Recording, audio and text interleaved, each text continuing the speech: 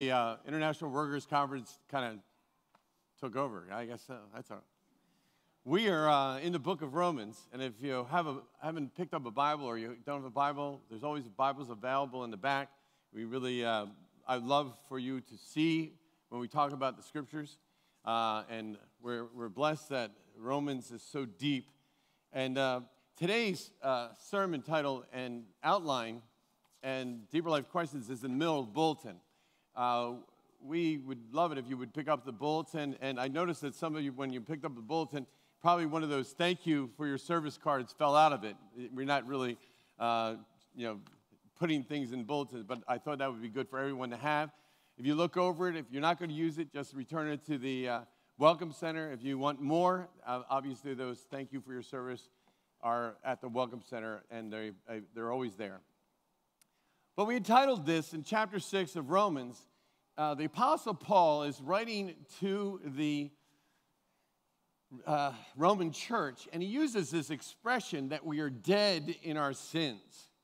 We are walking around as people without Jesus, dead in our sins. I, I thought about that, uh, and I thought maybe it would be a good title to call it The Walking Dead, but I think that title has already been taken by some TV series. But in reality, without the Holy Spirit changing us inside out, the people around us who do not know Jesus as their Savior are the walking dead. Now let that sink in for a moment. They are dead in their sins. And of course, when I hear that, I uh, obviously have spoken on this before. I am reminded of the many zombie movies and TV shows that are coming at us almost all the time.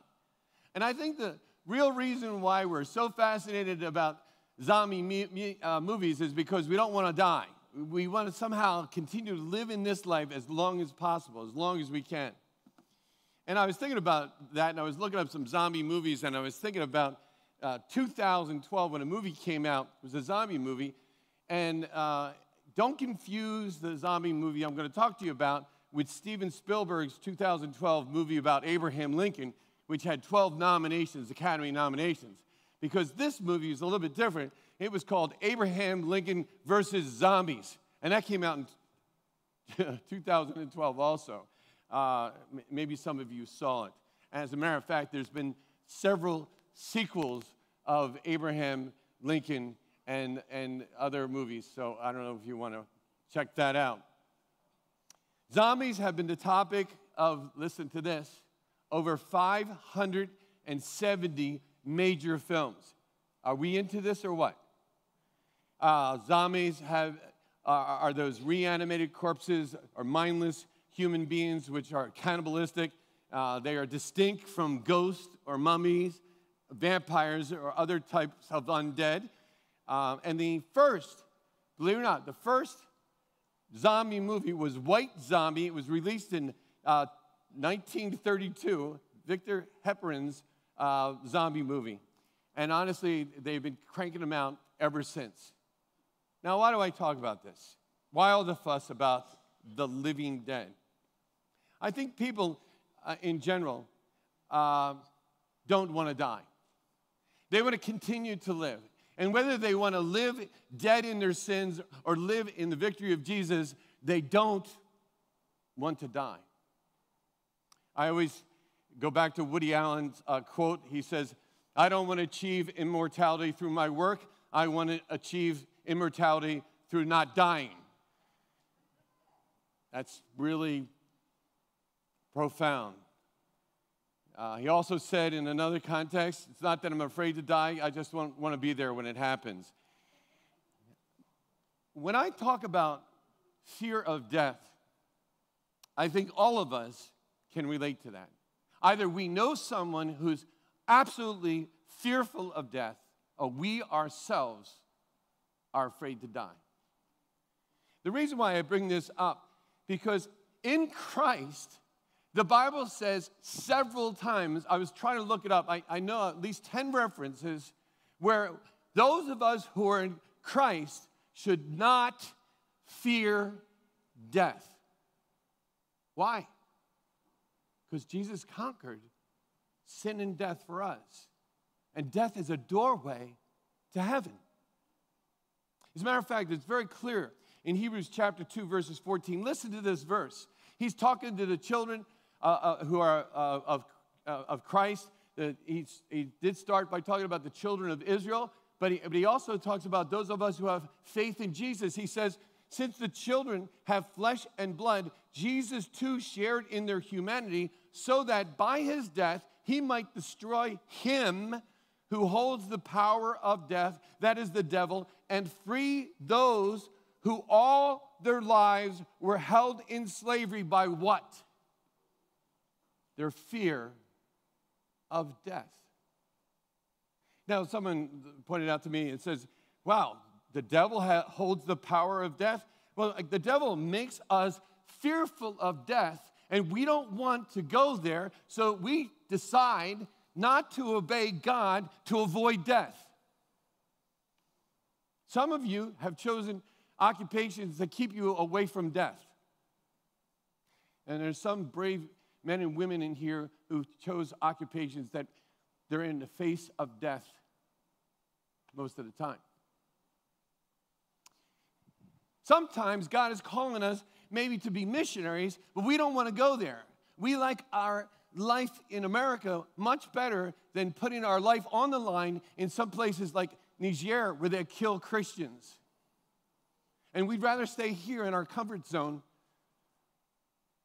And that is the power that Satan has on us because we'd rather listen to him sometimes than be obedient to God. But Jesus has come to free us from the fear of death so that we can extend ourselves in places that we would normally not go because we're Christ's children and we do not fear death. As I was uh, just bringing up this passage, I'd like us to go to our passage this morning. And our passage is again in, in uh, Romans 6. I'd like to read verses 1 to 7. It'll be on the slide. It's a lot of verses, but listen to what Apostle Paul is saying here. And, uh, and we'll pick it up uh, in that text. What shall we say then? Shall we go on sinning that grace may increase? By no means. We are those who have died to sin. How can we live in it any longer? Or don't you know that all of us who were baptized into Christ Jesus were baptized into his death? We were therefore buried with him through baptism into his death, in order that, just as Christ was raised from the dead through the glory of the Father, we too may live a new life. For if we have been united with him in death like his, we will certainly also be united with him in the resurrection like his. For we know that our old self was crucified with him so that the body ruled by sin might be rendered powerless, that we should no longer be slaves to sin. Because anyone who has died has been set free from sin. He's uh, going off of chapter 5. Remember, we're redeemed in Jesus Christ, and so the, the immorality that we lived in, or the sin that bothers us, or the lust of the flesh that, that many people around us continue to live in, if we are in Christ Jesus, we have died to that way of life. That's what the Bible says. And now we've been resurrected in a new way of life, a moral way of life, an obedient way of life with the power of the Holy Spirit. So, as you uh, look at the outline, I want to first talk about water baptism because it's been really a blessing of mine to see uh, how some of you have come forward to be baptized. And, uh, and as we look at water baptism, uh, think about this for a moment. And we have a pool up here, and we'll baptize anybody anytime. Uh, you just, uh, we'll fill up the water. Water baptism is a very interesting thing. Of all the things that Jesus could have used to identify us with Him, to have that identity gift that He wants to give us, He said we are to take people and in public dunk them in water. Now, when I was at the pools and I was a lifeguard for uh, a couple seasons, and when kids were dunking each other and four or five kids would team on, on one person and dunk them in the water, I had to break it up. Churches applaud it when I dunk someone in the water. Think about that. They, after I dunk someone in the water and I pull them up, everybody goes, Yeah, oh, that was great. Hey, man, I used to punish kids for doing that. Why? There's a symbolism there. There is a symbolism. When I'm taking somebody down in the water, they appear to be lowered into their coffin. Sometimes they, they fold their hands like this, or sometimes they put their hand over here. And it almost as if they're going down into the water as we lay them in the coffin. As a matter of fact, if I hold them in the water 20 minutes, they would be in their coffin, right? In their watery grave. But I bring them up out of the water and they breathe that breath because they've been under the water of new life in Jesus. It's a, it's a perfect picture of what happens in our lives when we accept Jesus as our Savior. Baptism is being buried in death, it symbolizes our resurrection from the grave. And when I look at this passage, we got to understand that Paul is not really talking about water baptism, although he is hinting at it, okay? And he's saying this is why we get baptized. But he's trying to say that when you were baptized in the Holy Spirit, you were crucified with Christ, and then you were resurrected with Christ in new life. You see what I'm getting at? And Paul is getting that point. It's the baptism of the Holy Spirit that he's talking about. And if we've been baptized or filled with the Holy Spirit, if we've been brought into the family of God and we truly know Jesus as our Savior, there will be this new energy, this new life to do what God wants us to do and not to live in the sins of the old life. It's a transformation. The next three chapters, chapters six, seven, and eight, have to do with this. First, in chapter six, we're called to be dead in our sin. Chapter seven, dead to the law. Chapter 8, alive to the Spirit. Chapter 6 emphasizes that sin no longer reigns in us. Chapter 7 says that the law no longer reigns over us.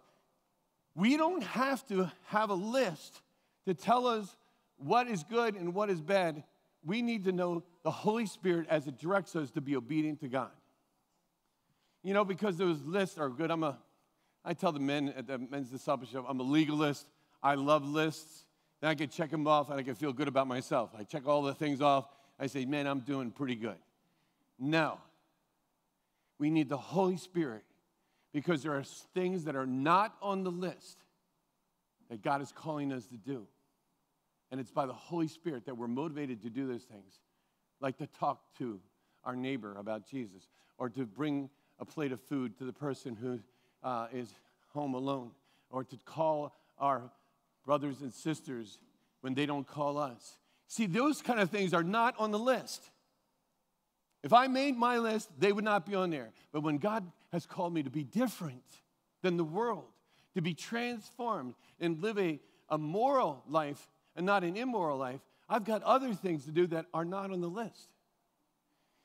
In chapter 8 is where the Holy Spirit is mentioned and should reign over us. The three topics of sin and, and law and spirit are going to be covered in the next uh, few chapters. We are to reign in life. But as I said, I have a problem. I am one of those living dead. I am one of those walking dead. It's only Jesus that gives me the power to put down the old man and live in the new man. You know, again, I, I, I want to talk about this because, because sometimes we feel stuck in the body of sin that we were born into. And we try to please God out of that body of sin. In chapter 6, we're going to talk about how the old nature has been crucified with Christ.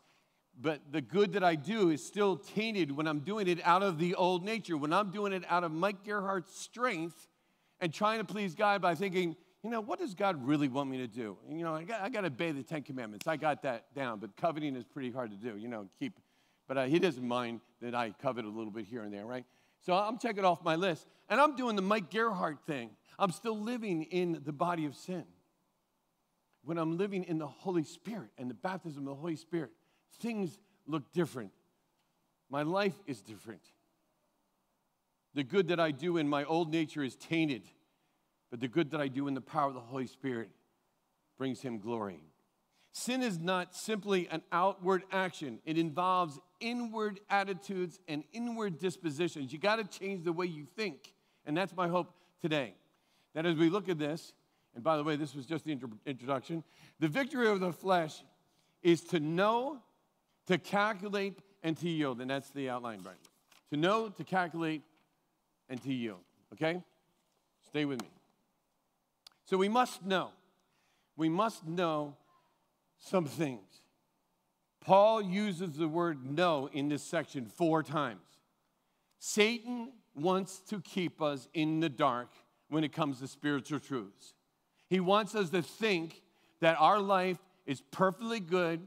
We don't need to talk to people about Jesus. We don't even need to live in a spiritual life. We don't need to call our brother or our sister on the phone to tell them about Jesus. We just need to be relaxed and enjoy this life. And that is true. We should relax and we should enjoy this life. But we are living on purpose for the glory of God because we're in Christ Jesus. So we must know some things that Satan wants to keep us from. First of all, living a life of sin should be impossible because the true Christian is dead to sin. I, I, want you to write this down. It's not in your outline, but write this down. Get a pen out, pencil, whatever you want. Once we were dead in sin, now we are to be dead to sin. Once we were dead in sin, we were the walking dead, we were zombies. But now we are to be dead to sin. Think about that. That's a big transformation.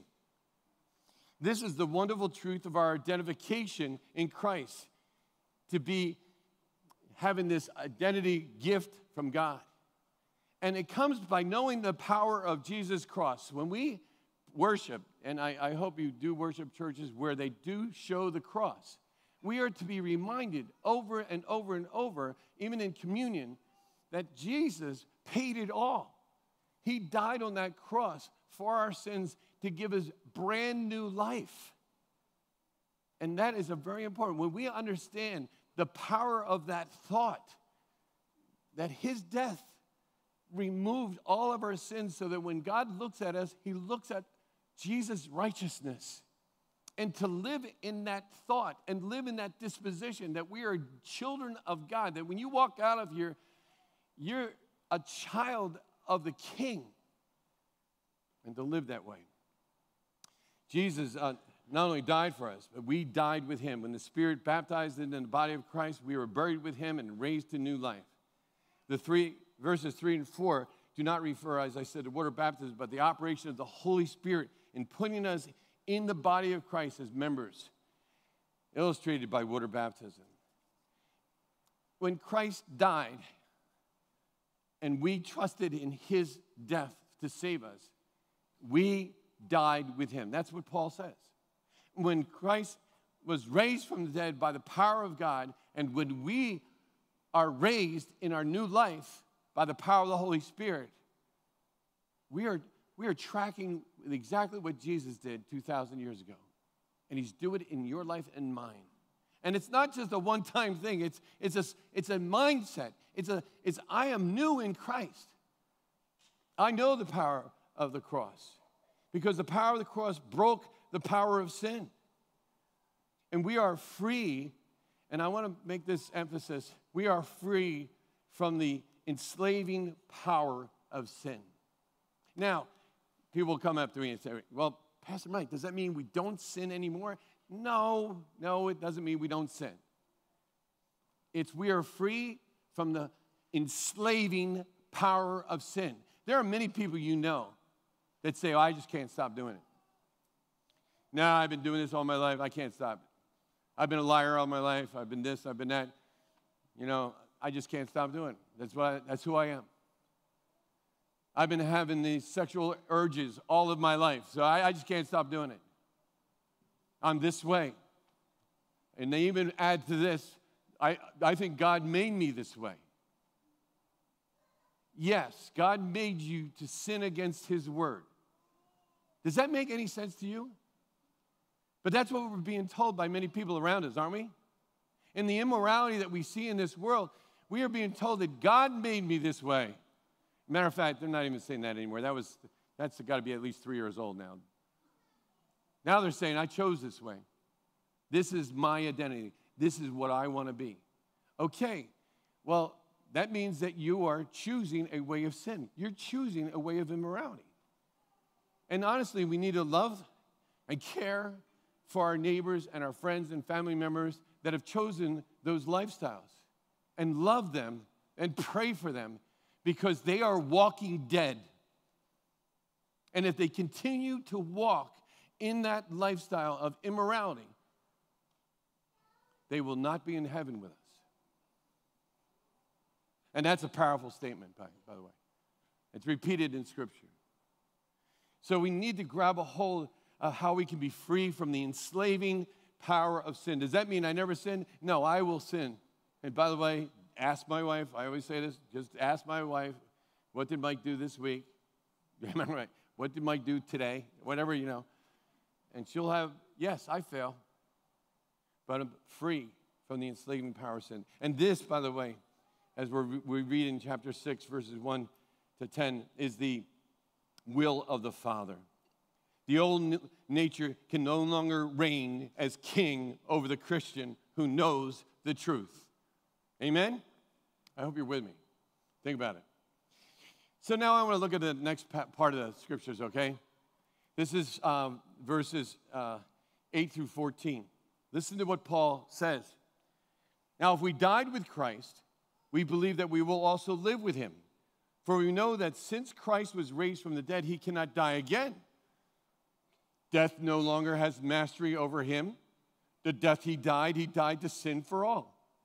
But the life he lives, he lives to God. In the same way, count yourselves. And by the way, this word count is like calculate, calculate for yourselves. Get your calculator out, figure it out, calculate, count yourselves dead to sin and alive but alive to God in Christ Jesus. Therefore, do not let sin reign, in your mortal body so that you obey its evil desires. Do not offer any part of yourself to sin as an instrument of wickedness, but rather offer yourselves to God as those who have been bought from death, brought from death to life, and offer every part of yourself to Him as an instrument of righteousness. For sin shall no longer be your master, because you're not under the law you're under what? You're under grace. It's not about obedience to law. There's many Pharisees and Sadducees and, and uh, Herodians that thought they were checking off the list of the law and said, I got this. It's not about obeying the law, it's about living in the grace and the power of God. So, the next thing on your outline is must calculate. So, what do we have to calculate? Well, first of all, he says, count yourselves dead to sin. By the way, this is hard to believe. We're in chapter 6, and this is the first command of Paul to the Romans. The first command.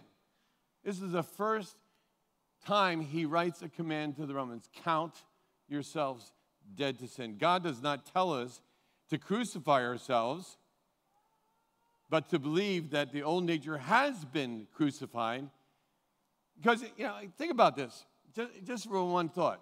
Crucifixion is one death that you cannot inflict on yourself, right? In order to be crucified, you need some help, right? Think about that for a moment. God doesn't say, all right, you go and crucify yourself. He says, you are crucified with Christ. You're crucified because Jesus died on that cross. You're crucified with him. It's a picture of ourselves, it's an identification with Jesus that we really need to have in our mind. I have been crucified with Christ. And then he says also, you are raised to newness in life. Count yourself also alive in Christ. The reckoning is simply that step of faith that applies what God has said about me in the Bible and make it true into my life. Reckon. Reckon is a, is a faith action, resting on the Word of God despite the circumstances or the feelings that I have, because the feelings can be very deceptive. I, I, I think I've said this before again. You know, we are still carrying around the dead corpse of Mike Gerhardt in my life. And I'm also carrying around the new life in Jesus. And they fight each other, by the way.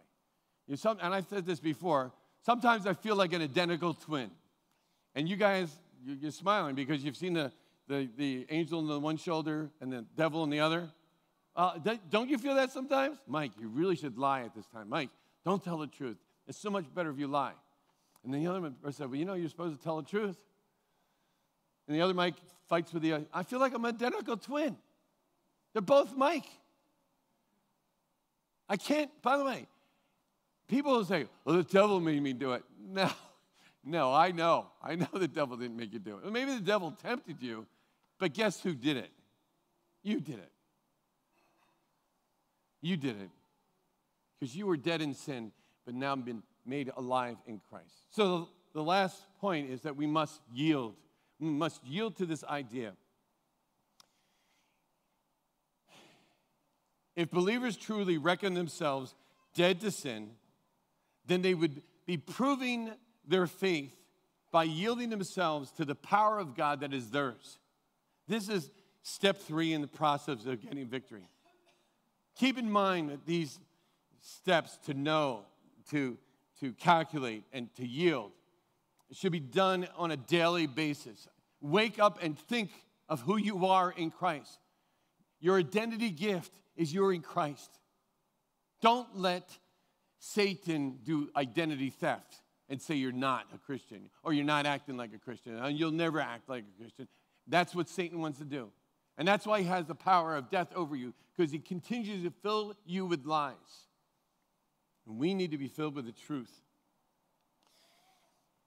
Believers who spend time in the Word will have faith to calculate their situation and be reckoned dead to sin and yield to the indwelling power of the Holy Spirit. Sin is not the problem.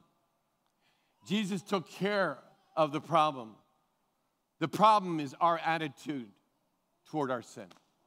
It's always been that way. Change your attitude. Victory comes when we understand that uh, we've been crucified with Christ and we are now living in the power of the Holy Spirit. I told you about a guy named Jeff Kinley, I think a couple weeks ago, who wrote a book, and we had him here for a weekend a couple years ago.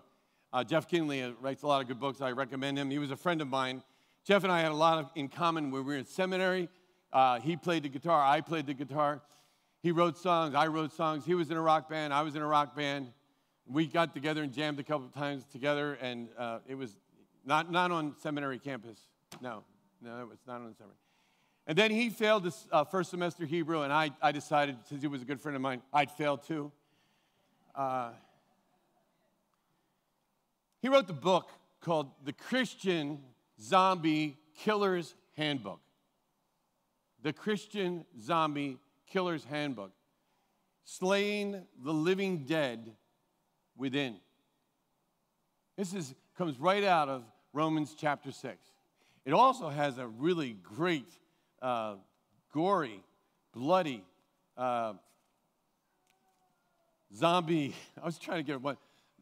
that really has a lot of, it's got a zombie novel in it, you know, zombies killing people and things like that. It's really uh, great novel that's in it. And then after a chapter of reading the novel, he then illustrates from Romans 6 the truth of the zombie that lives inside and how we need to kill the zombie inside how we need to be dead to sin and alive to Christ.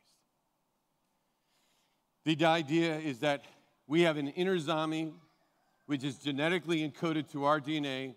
It's been there since Adam ate the fruit, and the zombie pulls us away. Uh, I put the title up there for you if you want to pick up the book. The zombie is our dark, identical twin that rides with us everywhere we go and is always urging us to step away from the light and step away from the will of God and do something of your own life. Be yourself. Don't listen to other people. Do what you want to do. No one else is looking out for you. You got to be number one. That's not biblical. None of that is biblical. You know what Jesus said? He said, You need to die to yourself. He might have well said, You need to die to the zombie that's living inside of you and live for me. That's biblical. And we as Americans, and I include myself in that, we have a hard time dying to ourselves. Because in our country, we're told that it's all about me. And it's not. It's all about Jesus and his glory. Respond to sin as a dead person. I once heard this. Whenever you feel like sitting, say, I can't do that now, I'm dead. Yeah. Somebody says to you, hey, let's go to the bar and get drunk. I'm sorry, I can't do that now, I'm dead. You'll get a response. Hey, let, us go to this movie that has a lot of pornography. I'm sorry, I can't do that. I'm dead. If you start thinking that way and you ask for the power of God, you'll start living that way. Dead to sin, alive to Christ. Here's one rejoice in the victory that God has given you. Constantly remind yourself of the victory that God has given you and rehearse the power over sin in the Holy Spirit.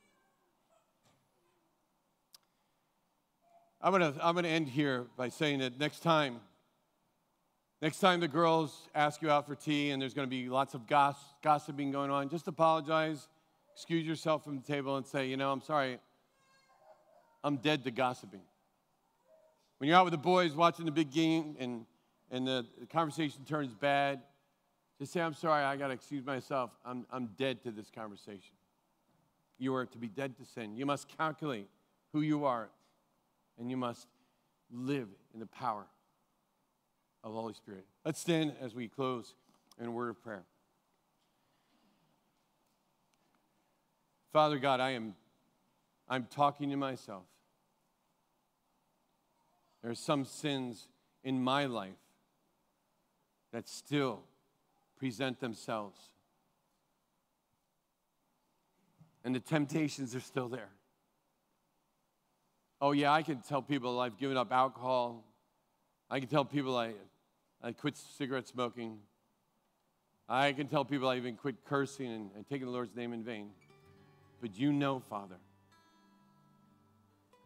You know the zombie, Mike Gerhardt, who's in my life, constantly pulling me to the dark side. And I know right here in this audience, there's someone that is fighting some urge, some desire to do something that is, that is against your will. Or, or someone who is living a life and doesn't even consider your will. Is being led by their own passions, is being led by their uh, selfish ambitions, who is being led by their, their zombie. And I pray, Father God, that we would all come to the conclusion that without Jesus Christ, we are dead in our sin. And with the baptism of the Holy Spirit, we can have a new life and power over sin. I pray, Father, if anyone is making decisions this morning, they would let someone know that they would first of all pray to you and let you know they need you every hour. We pray this in the precious name of our Lord